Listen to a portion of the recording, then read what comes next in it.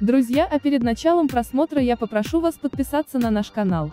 Возможных причин две, плохая и очень плохая. Актрису Анастасию Заворотнюк выписали из больницы, однако лечение не завершено, ее переводят в другое место. Официальных разъяснений этому решению пока не было, но у него может быть две причины, о которых рассказал врач-онколог Игорь Долгополов.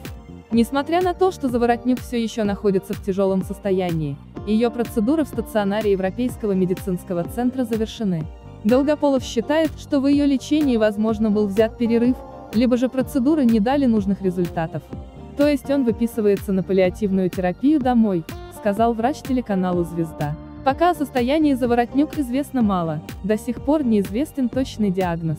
В сентябре почетный президент Национального медицинского исследовательского центра нейрохирургии имени академика Николая Бурденко Александр Коновалов сообщил, что у нее наиболее агрессивная форма рака мозга – глиобластома. Победить ее можно в очень редких случаях.